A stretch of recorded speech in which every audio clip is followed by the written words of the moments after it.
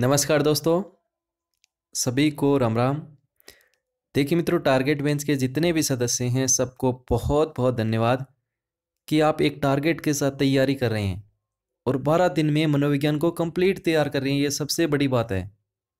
आप एक दिन का भी टारगेट बना के चलते हैं कि मैं एक दिन में एक टॉपिक तैयार करूँगा तो भी बहुत बड़ी बात होती है भाई। तो बहुत सारे विद्यार्थियों ने मैंने सुबह आपको टारगेट दिया था कि आपको अभी प्रेरणा वाला टॉपिक आज पूरा कंप्लीट पढ़ना है। आपके पास जो भी सोर्सेज है, सामग्री है, जो भी इम्पोर्टेंट चीज़ लगे, वो आपको तैयार करनी है। और मेरे ख्याल से सब, जितने भी विद्यार्थी हैं, सबने अभी प्रेरणा वाला टॉपिक है, वो तैयार कर लिया। मेरे पास लिस्ट भी भेजी हैं फ़ोटोज़ भेजी हैं, बहुत बढ़िया। कल का टारगेट मैं आपको देता हूँ, तीन टॉपिक अपने हो गए, बाल विकास हो गया, अधिगम हो गया, आज अभी प्रेरणा भी हो गया। कल आपको सुबह पाँच बजे उठ के बुद्धि का चैप्टर पूरा खत्म करना है। बुद्धि के चैप्टर में भी दो तीन प्रश्न आएँगे आपके। दो तीन है तो एक दो प्रश्न ज़रूर आएँगे। और बहुत अच्छा टॉपिक है। अभी प्रेरणा वाला टॉपिक भी बहुत सिंपल टॉपिक था। चार पाँच चीज़ें हैं पढ़ने वाली। उनको हम रिवीजन कर लेते हैं एक बार फिर से। जिन्होंने नहीं पढ़ा वो देख लेना। और जिसने पढ़ा है वो एक बार फिर से रिवीजन कर लेना। पाँच सात मिनट का आज का ये वीडियो बनेगा। चलिए फिर शुरू करते हैं, देखते हैं अभी प्रेरणा के टॉपिक में। मैं अपने नोट्स पे ले चलता हूँ। बहुत सारे विद्यार्थियों ने भेजा है, उनकी भी बात करेंगे। देखिए, विनोद जी है, प्रवीण जी है, मोना जी है, सबने भेजा है और सबने बहुत अच्छी चीज़ें लिखी हैं अभी प्रेरणा के बारे में। मैं सिर्फ़ आपको मोटा मोटी बता देता हूँ। मोटा मोटी आपको ये चीज़ें तो जहन में रखनी ही चाहिए। मतलब मोटा मोटी क्या है? तो सबसे पहले देखो, अभिप्रेरणा जन्मजात और अर्जित दोनों है। प्रश्न आ जाए कि अभिप्रेरणा है, ऑप्शन में मिले आपको जन्मजात, अर्जित दोनों है भाई साहब। जन्मजात भी है, अर्जित भी है। अभिप्रेरणा के पीछे क्यों का प्रश्न छिपा होता है? हम स्टडी करते हैं, क्यों करते हैं? हम दौड़ लगाते हैं, क्यों लगाते हैं? क्यों का प्रश्न छिपा होता है? ये भी थोड़ा सा ध्यान रखिएगा। परिभाषाओं में अगर बात करें तो अभी प्रेरणा के बारे में दो तीन परिभाषाएँ हैं इंपॉर्टेंट है। एक तो है गुड की। अब गुड की परिभाषा इसलिए इंपॉर्टेंट होती है क्योंकि अपनी जनरल लाइफ से जुड़ी है। क्यों? क्योंकि कार्य को आर कार्य को आरंभ करना, जारी रखना और नियमित करना। मैंने आपको एक लक्ष्य दिया कि हम बारह दिन में मनोविज्ञान को कंप्लीट करेंगे। ये हमने कार्य को आरंभ किया। अब आपने इसको जारी बनाए रखा कि हाँ यार, ये जारी रखना है और नियमित किया। नियमित करेंगे तो उसका कोई ना कोई रिज़ल्ट मिलेगा। तो कितनी बड़ी बात कही थी गुड ने, ये है अभिप्रेरणा। स्कीनर की परिभाषा फ़ेमस है। अधिग अधिगम का सर्वोत्तम राजमार्ग अधिगम का सर्वोत्तम राजमार्ग है अभिप्रेरणा। ये तो मेरे ख्याल से सबको याद होगी। इसके अलावा भी छोटी मोटी परिभाषाएँ और हैं, जैसे थॉमसन ने रुचि की बात की है। और भी जैसे लोवेल है, इन्होंने भी एक बात कही है वुडवर्थ ने भी कही है गेट्स ने भी कही है, मेरे ख्याल से आज सुबह आपने वो सारी चीज़ें पढ़ ली होंगी। एक बार उनको थोड़ा सा और देख लीजिएगा, लेकिन ये दो तो परिभाषाएँ आपके जैन में होनी चाहिए। इसके बाद सीधा प्रश्न आता है यहाँ से। अभी प्रेरणा चक्र से प्रश्न आता है। या तो ये पूछेगा कि भूख है वो किस प्रकार का है, नीड है, ड्राइव है या इंसेंटिव है? प्रेरणा चक्र आपको पता ही है ये इस प्रकार से। नीड, फिर ड्राइव, फिर इंसेटिव आवश्यकता और ड्राइव को हम क्या बोलते हैं? भाई चालक बोल सकते हैं अंतर्नोद बोलते हैं, प्रणोद भी आप कह सकते हैं। और इंसेंटिव आई का मतलब क्या होता है? प्रोत्साहन। किसी चीज़ की कमी और अति आप नीड से लगा सकते हैं। कोई चीज़ की आपने कमी हुआ है, अति हुए बा चीज़ की हुए आपने आवश्यकता। भी आवश्यकता के पूरी करने के लिए आप करा क्रिया करा, प्रेरक काम मिले बिन बोले ड्राइव। क्रियाशीलता। और कोई इसी चीज़ की भी चीज़ ने संतुष्ट कर दे सीधी सी बात है वो वह चालक। इंसेंटिव प्रोत्साहन। जी हाँ देखो ऊर्जा की कमी अपने शरीर में की है? नीड है आवश्यकता। इसके लिए ड्राइव के कर से यहाँ भूख भूख लाग सी और भोजन के कर से इन्हें शांत कर सी यो की है प्रोत्साहन है। पानी की कमी क्या है? नीड है। प्यास की है? ड्राइव है, है चालक है अंतर्नोद है और पानी के है प्रोत्साहन है। एक बार प्रश्न बैठू प्यास भूख जो है वो, वो क्या है? अंतर्नोद आवश्यकता प्रोत्साहन तो आपको लगाना है अंतर्नोद। चालक ड्राइव तो यहाँ से प्रश्न आए तो मेरे ख्याल से आपको गलत नहीं करना है। इसके बाद देखो अभिप्रेरणा मोटे मोटे देखें तो एक तो होता है आंतरिक एक होता है बाई आंतरिक नाम से देखो आंतरिक अंदर से। और कोई चीज़ हम अंदर से सीखते हैं। अपनी आत्मा बोल के कहती है कि ये काम करना है। वो सीखने के लिए सबसे क्या होती है? उत्तम होती है। ये तो चीज़ आपको पता ही है। अरे भाई ये, अब था नहीं अगर जो टॉपिक तैयार करना है, अरे नहीं तैयार करो जना मैं थाने देख लिया फिर कुटू लो। तो आ क्या की बात है? आ दंड है एक प्रकार को। एक कारण अब थारे मन में जिसी के करा तो करा नहीं करा तो नहीं करा। तो यो के है वो बाह्य अभिप्रेरणा है, पुरस्कार। पुरस्कार में भी बाह्य अभिप्रेरणा। पुरस्कार को कई बार पूछी जाए भाई, ध्यान रख लिया सीधी सी बात एक बाद में देखो वर्गीकरण। वर्गीकरण से प्रश्न आवाई का कई बार। और सीधो प्रश्न पूछी जाए, गैरिट ने अभिप्रेरणा के कितने प्रकार बताए? गैरिट ने। अब नहीं पढ़ा है तो भैया गैरिट गैरिट होती रहती पता नहीं चलता। तीन ही आदमियों को ध्यान रखना, एक तो मेस्लो को एक थॉमसन को, एक गैरिट को। मेस्लो को थॉमसन को, गैरिट को। आ तीनवा का माइंड सबसे ज़्यादा इंपॉर्टेंट गैरिट को है प्रश्न आइडो है, गैरिट को। वो भी ध्यान रखना है। अच्छा पहली बात कर लिया मेस्लो को मेस्लो को नाम आते हैं एक तो याद रखना, वो एक बहुत बढ़िया बात कही, आवश्यकता पदानुक्रमिक सिद्धांत दियो। दूसरी बात, वो अभिप्रेरणा का दो ही प्रकार बताया। अभिप्रेरणा का कितना प्रकार बताया? दो। एक तो जन्मजात, एक अर्जित। एक तो जन्मजात, एक अर्जित।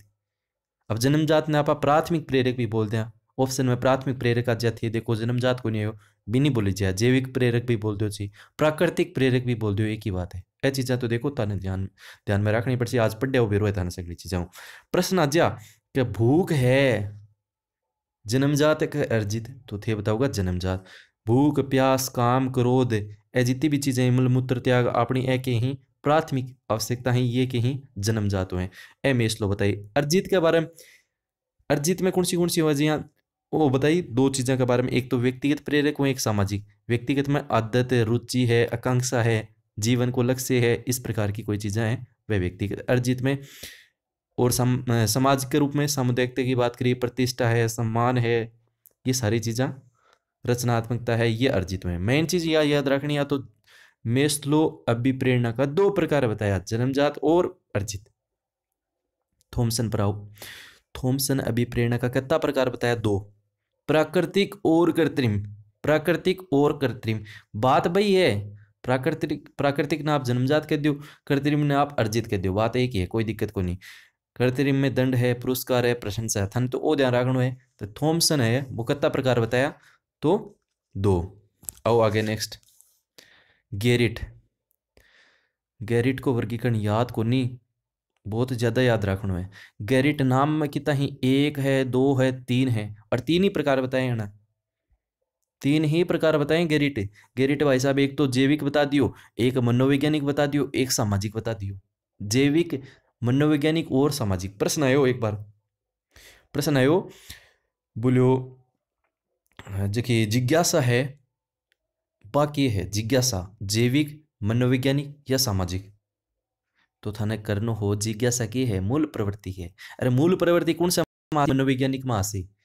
गेरिट बोलो जितना भी संवेग ही वह तो ही जैविक अरे मूल प्रवृत्ति ही वह के ही मूल प्रवृत्ति के ही मनोवैज्ञानिक और समाज का नाम तो समाज के रूप में तो मिली जिसी समाज को तो मन वेरो कोई प्रश्न गलत को नहीं करे।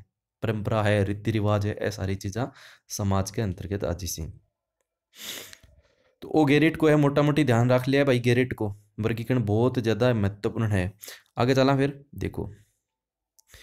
अब देखो अभिप्रेरणा के बारे में अट्ठों प्रश्न आवा तो अट्ठों आस गए इज्जो अभिप्रेरणा का सिद्धांत। मोटा मोटी को नाम तो याद रहना ही चाहिए। नाम तो याद रहना ही चाहिए कि कौन सो सिद्धांत कौन दियो। मनोविश्लेषण अब मन लाग रे, जना सिद्धो थाने सिगमंड फ्राइड पर जानो है। घट जाने की आवश्यकता कोनी, मन का तीन प्रकार बताया, चेतन, अचेतन, अर्धचेतन, और सबसे बड़ो अचेतन। मूल प्रवृत्ति को नाम आवे जना मैकडुगल करनो है। मूल प्रवृत्ति अभिप्रेरणा को मूल प्रवृत्ति सिद्धांत कौन दियो? मैकडुगल। मूल प्रवृत्ति और भी जना बताई हैं। इरोज और थेनाटोस, कमेंट करके बताया कौन बताई? तो थोड़ा सा ध्यान रखना कि ऑप्शन में मैकडुगल नहीं है तो अपन कौन सो करना है? ये चीज़ें ध्यान में रखना चीज़ें में। मैकडुगल नहीं है तो आप और भी कर सकते क्योंकि और आदमी भी मूल प्रवृत्ति के बारे में बता के गया। मैकडुगल तो केवल चौदह प्रकार की मूल प्रवृत्ति बताई।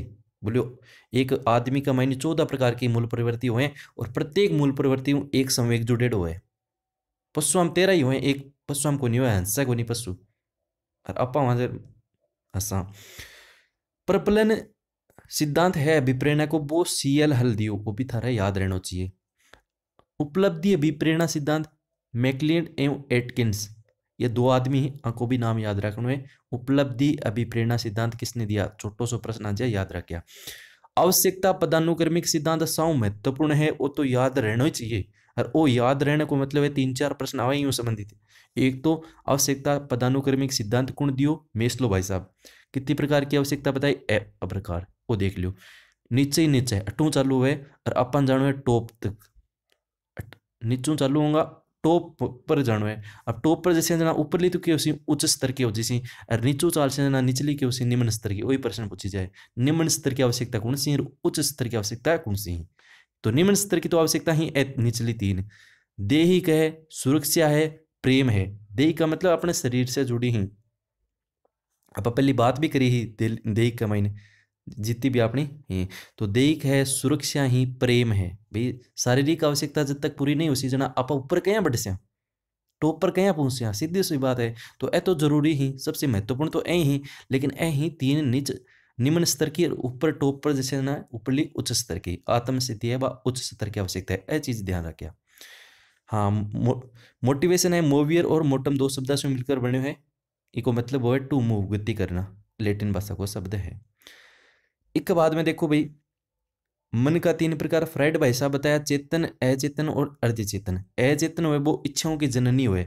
अब आपने यह सोचोगे इच्छा आपने में ज़्यादा ही हुए मैं रीट में लगा जना अया करांगा बया करांगा आ गाड़ी ले बिन ले आऊँगा बिन देखांगा, बहुत सारी इच्छा हुए बठ घूमांगा। तो जठे इच्छा ज़्यादा में बठे वो भाग कौन से होसी, बड्डो होसी तो अचेतन हुए, नौ बटा दस भाग अच्छा मूल प्रवृत्ति बिया तो चौदह ही और सगड़ा भेजी मैंने, बोले गुरु जी ए मूल प्रवृत्ति हुए सगड़ा के सागे एक संवेग भी जुड़े हुए। और मेरे ख्याल से सगड़ी चौदह मूल प्रवृत्ति कोई कई याद को नहीं मेरे ख्याल से को नहीं रही तो बढ़िया बात है, लेकिन नए याद हम ए तो याद ज़रूरी रखा। ए तो याद करनी पड़सी। पलायन जकी है, इको है, संवेग भय। पलायन सीधी बात है यार, डर लाग सी जना के कर पलायन कर दौड़ से भाग दूसरो है अस्त्रीय जिज्ञासा। अस्त्रीय जिज्ञासा, वो भी याद रखा घृणा निवृत्ति। घृणा को क्या हुआ मूल प्रवृत्ति की वह निर्वृत्ति। और क्रोध को वह युयुत्सा वो भी ध्यान रखा। और भूख संवेग है एक को क्या हुआ भोजना अन्वेषण अमूल प्रवृत्ति है। भोजन की खोज भोजन की तलाश। ए चार तो याद रहनी चाहिए ती, तीन दो पाँच होगी ना पाँच तो याद रहनी चाहिए। बाकी थारे याद रह नहीं रहे। अरे याद ही तो बहुत बड़ी बात है। बस अभी प्रेरणा को जीतो टॉपिक है ना बिकॉज़ सार यो ही है। अति बात ही अति बात याद ही। तो अभी प्रेरणा टॉपिक पूर्णतया तैयार है थारे। क्योंकि मोटी मोटी ए चीज़ें ही। अब आगे माइन, थे कितना ही घुस लियो प्रश्न निकाल लियो मोटा मोटी तो ए याद रखनी। काल ही थारो एग्ज़ाम हो तो ए चीज़ तो थारा याद रहनी चाहिए। ठीक है ना मोटा मोटी बता दिए। और थे, आज पढ़ो बहुत बढ़िया बात है। और यहाँ प्रश्न आ जाए उद्दीपक अनुक्रिया अभिप्रेरणा सिद्धांत किसने दिया? तो भाई, उद्दीपक अनुक्रिया अनुक्रिया प्रेरणा उद्दीपक खटू प्रश्न आ रहे व्यवहारवाद्या दे डाई। तो व्यवहारवादी हो जिसे की दिक्कत है। तो यहाँ छोटा मोटा थोड़ा सो कॉमन सेंस लगा के भी प्रश्न हल करना है। तो मोटा मोटी आप देख लिए, अभी प्रेरणा का टॉपिक ने, कल आप बहुत बढ़िया तरीकों बुद्धि को जो को टॉपिक है भी तैयार करेंगे। और इश्यू तैयार करेंगे, क्या बठों प्रश्न आवेगा वही सौ परसेंट आओगे या फिर अँ को नहीं होगा मैं तैयार कौन करियो भाई। बस, आई बात है। बहुत बहुत धन्यवाद, जो भी टारगेट बेंच में लगे हुए हैं। ईमानदारी से अपनी तैयारी है, वो जारी रखें। किसी का कोई लेना देना नहीं है, अपने आप करें, किसी का कोई बात ही नहीं, बस। अपना करो, अपना पढ़ो, मज़े करो इन्जॉय करो। मज़े भी लो, पढ़ते भी रहो। ठीक है दोस्तों, आज के इस वीडियो में इतना ही। बहुत बहुत धन्यवाद। वीडियो अच्छा लगे तो लाइक करें, अपने दोस्तों के पास शेयर करें और सब्सक्राइब करो तो कर लिया नहीं करो तो कोई बात को नहीं। आपने तो पढ़ता रहो। धन्यवाद।